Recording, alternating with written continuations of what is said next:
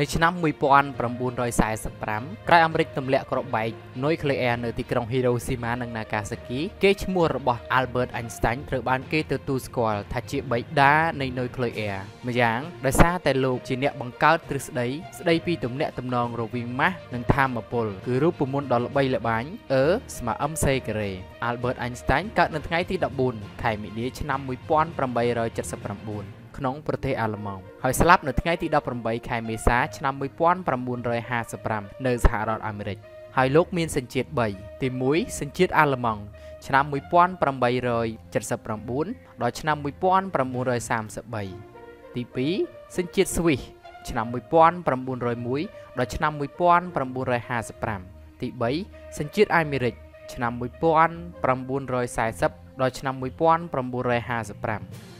ស្នាដៃសំខាន់សំខាន់របស់ Albert Einstein ទី1 relativity ទូទៅ ទី2 relativity ពិសេសទី3ចលនា Brown ទី4ផល photo អគ្គិសនីទី5រូបមន្តសមមូលម៉ាស់ធម្មពលទី6សម័យកាលដែនរបស់ Einstein ទី7ទ្រឹស្ដីរួមអំពីដែនទី8ស្ថិតិបោះ Einstein ទី9 EPR paradox រង្វាន់ដែល Albert Einstein បានទទួល រង្វាន់ Nobel ផ្នែករូបវិទ្យាឆ្នាំ1921មេដាយ Copley ឆ្នាំ1925ខាងក្រោមនេះគឺជារឿងរ៉ាវដ៏អត់កំបាំងទាំង11របស់ Albert Einstein ដែលលោកអ្នកពុំធ្លាប់បានដឹងទី1 Einstein ជាមនុស្សកំសាកមើងម៉ាត់តែចិត្តទូលាយទី2សម្រាប់ Einstein របបកំហើញការគិតឃើញជាពិសេសមួយប៉ុន្តែមិនដែលគិតថាខ្លួនជាមនុស្សមានទេពកោសល្យនោះទេ ទី3អញស្តាញ់មិនដែលពាក់ស្រោមជើងនោះទេនៅសម័យនោះស្រោមជើងឆាប់រហែកពេកធ្វើឲ្យគាត់ស្អប់វាជាខ្លាំងហេតុនេះហើយអញស្តាញ់ចូលដំណេកដោយមិនពាក់ស្បែកជើងនិងជើងទៅទេទី4ក្នុងមួយថ្ងៃអញស្តាញ់ដេករយៈពេល10ម៉ោង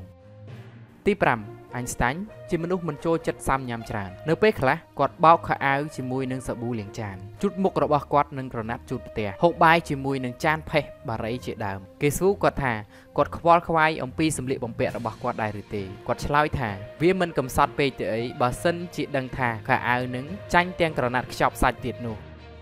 ទី6គេកម្រនឹងឃើញអញស្តាញ់ញញឹមណាស់ប៉ុន្តែមានរូបអញស្តាញ់មួយដែលលៀនអណ្ដាតដ៏ល្បីដែលថតនៅថ្ងៃទី14ខែមីនាឆ្នាំ1951នៅថ្ងៃកំណើតទី72របស់លោកអ្នកថតរូបឲ្យក្រុមហ៊ុនទូរគមនាគមន៍ INS បានសុំឲ្យគាត់សោចហើយគាត់ក៏លៀនអណ្ដាតបែបនេះលើសពីនេះទៅទៀតអញស្តាញ់ហាក់បីដូចជាពេញចិត្តនឹងរូបថតនោះណាស់ដោយបានសុំឲ្យគេផ្តិតចំនួន9សន្លឹកបន្ថែមទៀត នៅឆ្នាំ1951រូបថតនោះទទួលបានរង្វាន់ពីការប្រកួត ដែលរៀបចំដោយកាសែតនៅទីក្រុងញូវយ៉ក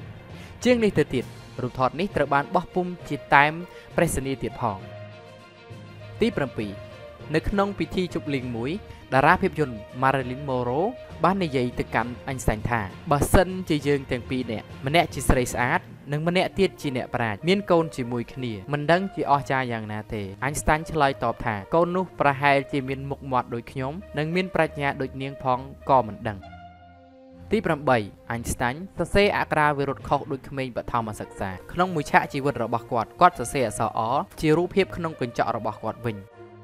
ទី9អញស្តាញ់មិនសូវប្រសពចងចាំទូរលេខនិងសញ្ញាសម្គាល់ងាយងាយទេតួយ៉ាងការសម្ភាសពីភ្នាក់ងារកាសែតម្នាក់ ដែលសុំឲ្យលោកឆ្លើយពីតម្លៃរបស់ល្បឿនពន្លឺលោកមិនអាចឆ្លើយបានទេ ហើយបាននិយាយតបថាហេតុអ្វីក៏យើងត្រូវចងចាំនៅអ្វីអ្វីដែលសរសេរក្នុងសិភៅនោះទី10អញស្តាញ់ជាមនុស្សចូលចិត្តសរសេរសម្បត្តិពេលគាត់ខ្លាយជាបុគ្គលល្បីឈ្មោះហើយក៏ដោយក៏គាត់នៅតែបន្តសរសេរសម្បត្តិឆ្លោយឆ្លងទៅមកចំនួនជាង10000ច្បាប់ ទី11អញស្តាញ់ល្បីឈ្មោះថាជាអ្នកដែលបានបន្សល់ទុកនៅពាក្យពេចន៍ល្បីៗជាច្រើនឧទាហរណ៍គាត់បានពណ៌នាបុគ្គលិកលក្ខណៈរបស់មនុស្សថាការប្រែប្រួលចិត្តអប្រ័យរបស់មនុស្សវាពិបាកជាងការកែប្រែលក្ខណៈសម្បត្តិរបស់ផ្លុយតូនិយមទៅទៀតពេលគាត់និយាយពីទ្រឹស្ដី relativity គាត់បានឧទាហរណ៍បែបនេះថាចូលសាកដាក់ដៃរបស់អ្នកលើចង្ក្រានកម្ដៅរយៈពេល1នាទី អ្នកនឹងមានអារម្មណ៍ថា1នាទីនេះហាក់ដូចជា1ម៉ោងអញ្ចឹងផ្ទុយទៅវិញ បើសិនជាអ្នកចំណាយពេលវេលាជាមួយនឹងស្រីស្អាតរយៈពេល1ម៉ោងវិញតើវាយ៉ាងម៉េចតើអ្នកនឹងមានអារម្មណ៍ថា1ម៉ោងនោះដូចជាមួយនាទីអញ្ចឹងនេះហើយជាអ្វីដែលយើងហៅថា relativity